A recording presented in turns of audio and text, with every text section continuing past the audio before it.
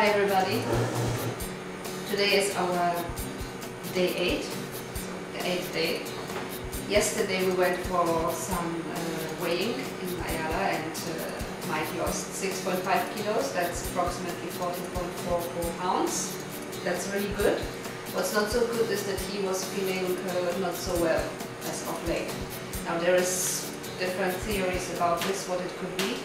Uh, my guess is that he is probably detoxifying. So to have a nice treat for today, for my family and for Mike, also to celebrate somehow the, the first uh, pounds that have tumbled. And to help him with his detox, I thought to make a little experiment today.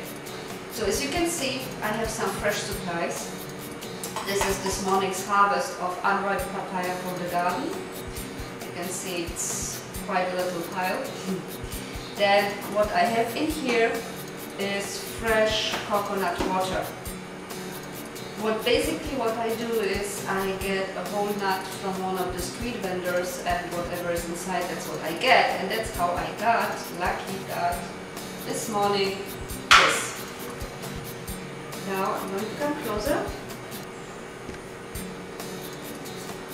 Now, I don't know what this looks like to you, but what it is, is fresh coconut meat from the nut, from the fruit itself. Now this stuff is so fresh, it's somewhere between solid and liquid and has almost a gel-like consistency. Now, and this is really just a thesis, so not going to put that to a test. I heard somewhere that when you have um, raw fruit and vegetables that are that have uh, consistency like gelatine, they help you with detoxification simply by passing through your digestive tract when you absorb them and attracting all the to toxins that your liver is trying to get rid of and to make uh, to, to, to pass through the system.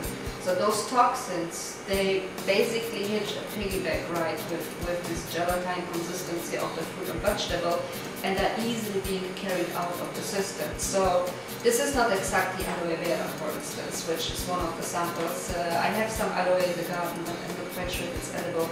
So um, let's try it, shall we? And to make this whole thing tasty, a nice, juicy, sweet, ripe pineapple to go with it. So, pina colada, anyone? So, what we got here is my nice, tasty pineapple after getting rid of the skin and all the itchy parts. Now, some will say to remove the middle part, which you see here on top, because it's harder than the, the flesh of the fruit. See this, this, this part here? Personally, I like it just as much as I like the rest of the fruit and for the juice it really doesn't make a bit of a difference. The more the merrier. So what I'm going to do is with the pineapple, I'm going to juice it while the meat is going in the blender and we'll see how it goes.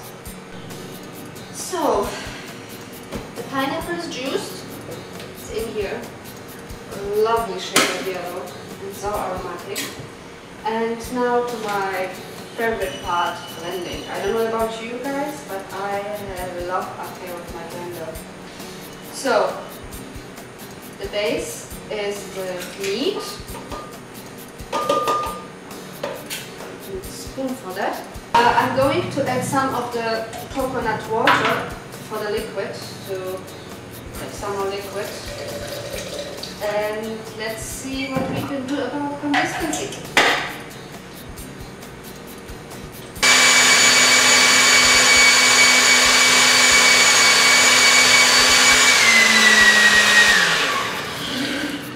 Mm. Nice.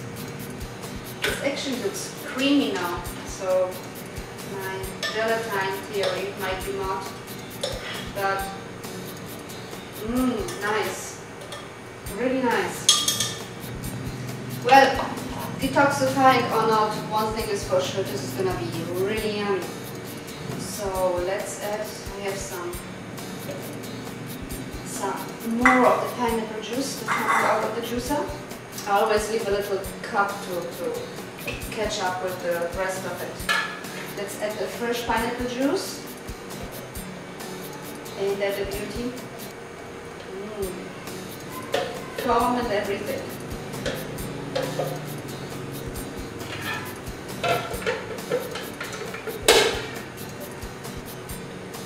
Maybe a little coconut water. Stretch the whole thing. That should be enough.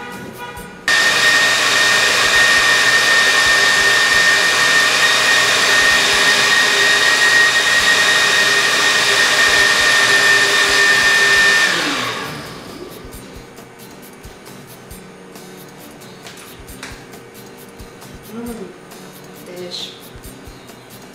Pina colada. Let's hope it's good. Bye.